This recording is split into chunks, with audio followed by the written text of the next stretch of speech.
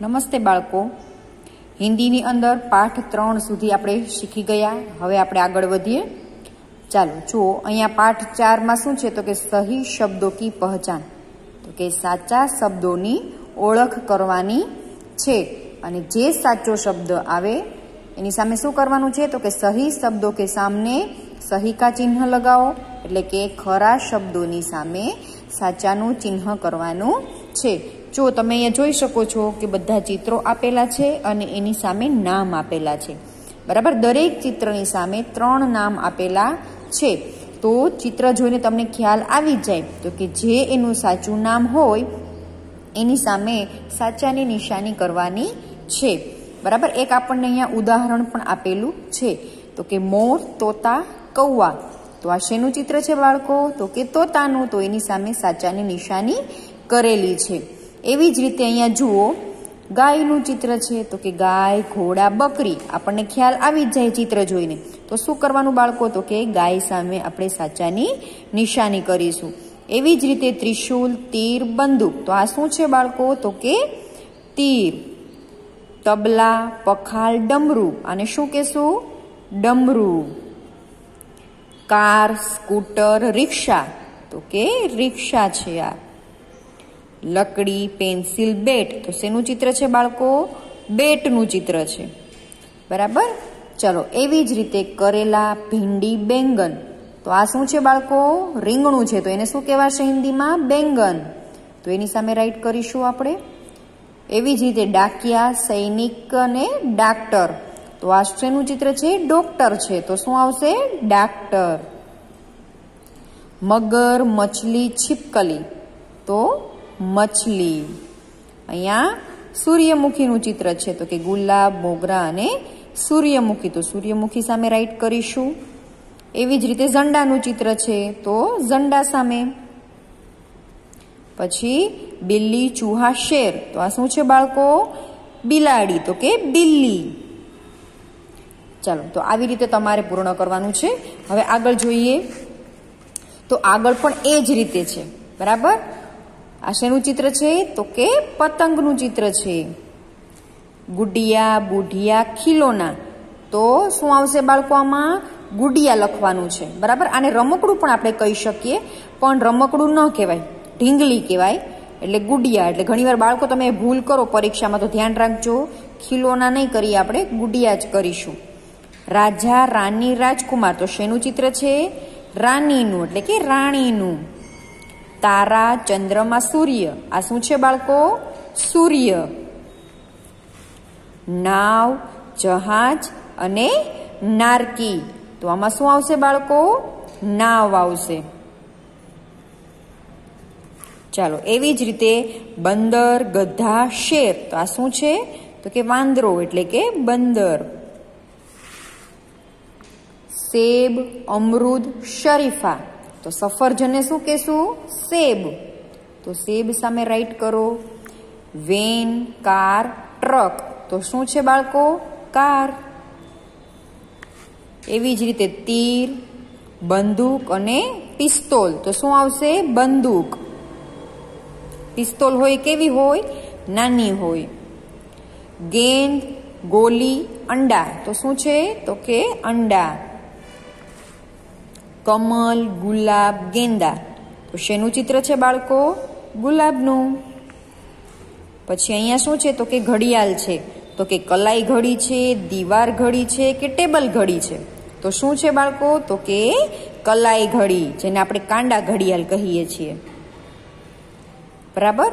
તો આ બે પેજ તમારે આ રીતે પૂર્ણ કરવાના છે. હવે જોઈએ પ્રશ્ન નંબર ત્રણ ઉપર. ખાલી સ્થાન મેં ઉચિત વર્ણ રખકર નામ પૂર્ણ કરો. એટલે કે ખાલી જગ્યામાં યોગ્ય અક્ષર મૂકીને નામ પૂરું કરવાનું છે. તો જુઓ બાળકો, અહીંયા ઉપર આખો અક્ષર પણ આપેલો છે, એમનું ચિત્ર પણ આપેલું છે.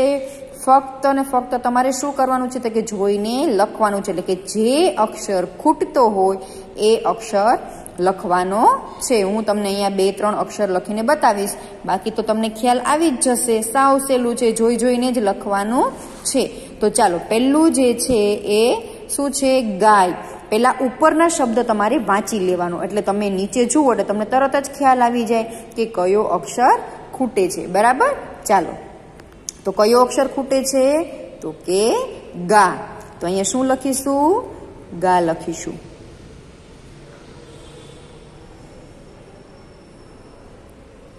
બરાબર? પછી એવી જ રીતે બકરી.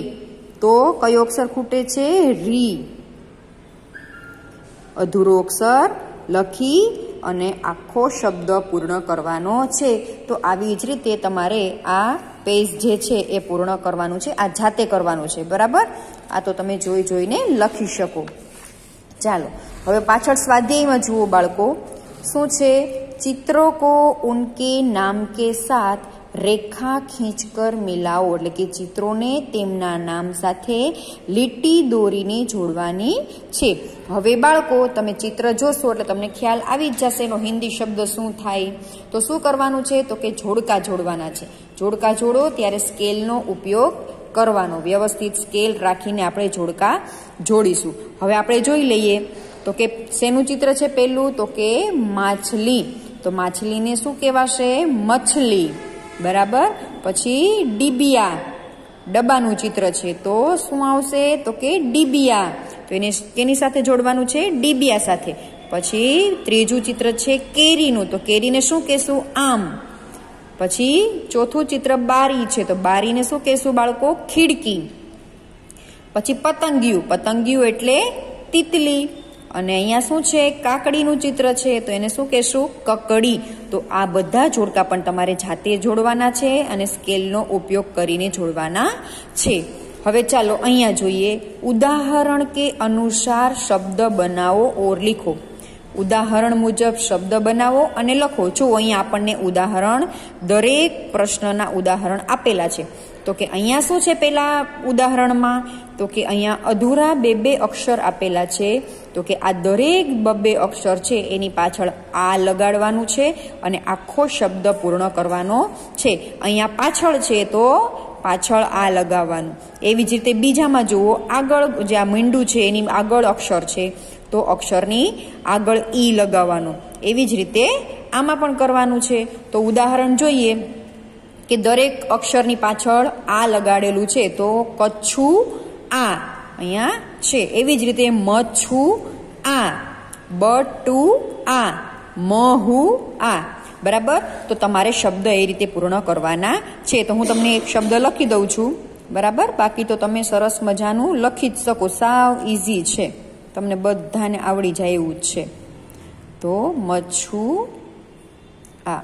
હું તમને એનો ફોટો પણ મોકલીશ. બરાબર? પણ જાતે લખવાનો પ્રયત્ન કરો તો વધારે સારું. પછી ત્રીજો શબ્દ શું બને છે? તો કે બટુ આ. તો એમાં પણ જે આ છે એ પાછળ લગાડવાનો છે. છે ને બાળકો સહેલું આવડી જાય એવું, કારણ કે આપણને ઉદાહરણ પણ આપેલું છે, એટલે ઉદાહરણ પરથી તમને ખ્યાલ આવી જ જાય. હવે એવી રીતે આપણે એક શબ્દ અહીંયા જોઈએ. ઈ માં એટલે કે એક શબ્દ બનાવેલો છે, બાકીના ત્રણ શબ્દ છે, એ આપણે બનાવવાના. તો બીજો શબ્દ આપણે બનાવીએ ઈ સાઈ બરાબર? તો લખશું આપણે